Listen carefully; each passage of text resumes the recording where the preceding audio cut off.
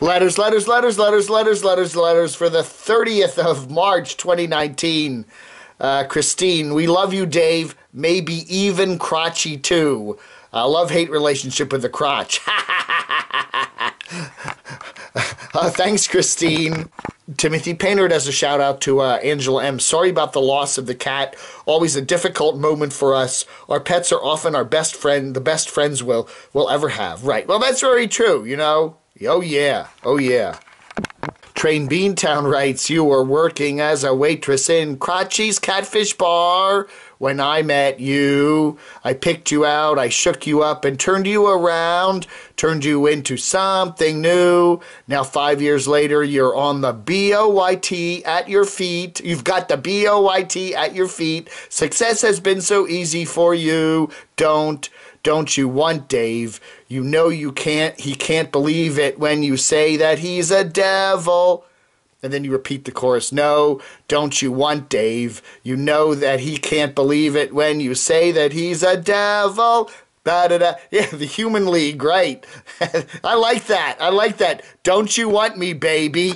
Don't you want Dave and Crotchy? Don't you? Roseanne writes, I had a male cat for 18 years. I got him on my first job at the county fairgrounds. He was a precious, he was a precious. Name was Levi. He loved the outdoors even after being fixed. He never started a fight. He would sit back and let the other cats eat first. I do sure I sure do miss him. He was a real gentleman too, like your followers, Camo Dave. Very polite and caring. Seriously, Camo Dave has some cool followers. Yes, people tend to overlook that you know, there are some of my followers, some of my subscribers that are a little rowdy and crazy, but you often overlook the 98% of them that are nice and kind and fair. Yeah, the, the 2%, everybody focuses on that 2% of the crazy doxing weirdos, but the 98% of good, fair, honest, constructive criticism people are getting ignored often and we got to stand up for my subscribers you know you got to stand up for my commenters the vast majority of you are wonderful kind people casey the ADV writes, bottom line, people that have and continue to make poor life choices should not own animals. Well, how do you enforce a rule like that? You know, I guess you'd have to have some sort of a can you have a pet license? You'd have to apply for that, right? I don't know if I want to go there. I don't know if I want to go there. No, oh well.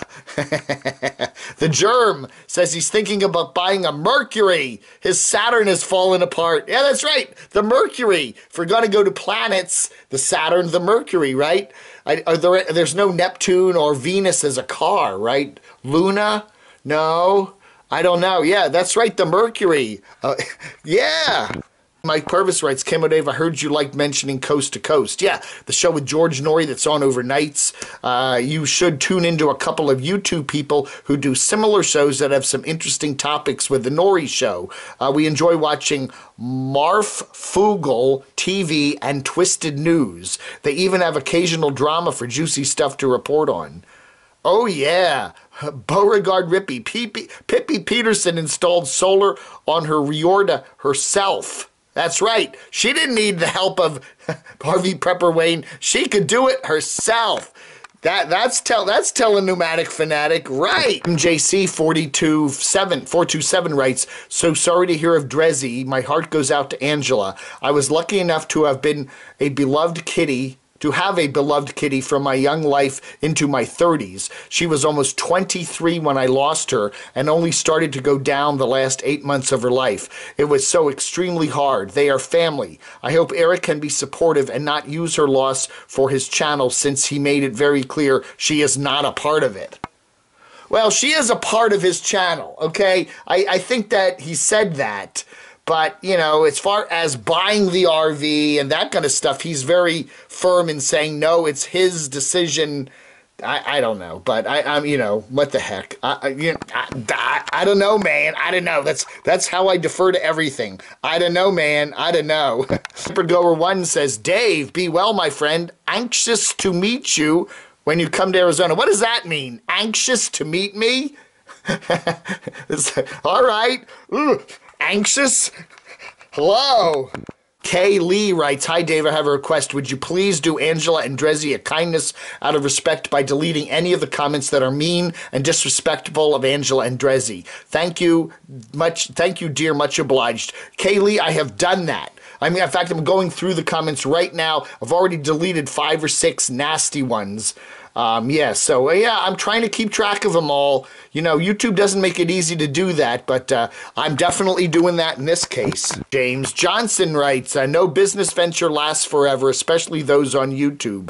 Those e-begging mobile hobos will eventually have to get real jobs and move back into apartments because they won't be able to afford living that way. I think we're seeing a number of uh, nomads uh, facing that dilemma right now, okay? There are a few that are going to, you know, continue building up their channels and may end up becoming, you know, allowing YouTube to become a jobby boo for them. But the vast majority of people are going to find out that, you know, YouTube is good in the sense that it can give you a couple extra bucks now and then to help you out, but it's not a job. And I think most YouTubers, many of the nomads are finding that out that, you know, they got to have something else coming in, whether it's a job or whether it's some sort of retirement pension or some sort of disability or whatever, you know. But living on YouTube for most people is almost impossible. Uh, Chad Braun writes, I fear this was going to happen sooner or later. I mean, 17 years is a long life for a cat, and if anybody who watches Angela's videos uh, should know that uh, Dresden had some health issues back when she was in Mexico, and the move from her van to Eric's new RV probably didn't help much either. But anyway, I really feel bad for Angela. I know it feels I know how it feels to lose a pet that's been in your life that long. R.I.P. Dresden. P.S. Thanks for passing this news along, Dave, since I don't happen to have Instagram.